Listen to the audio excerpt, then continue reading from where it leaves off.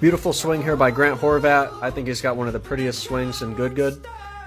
He keeps his butt up against that wall throughout the whole swing. He keeps the club on plane in the backswing and the downswing, and his lead arm covers his trail shoulder at the top of the backswing.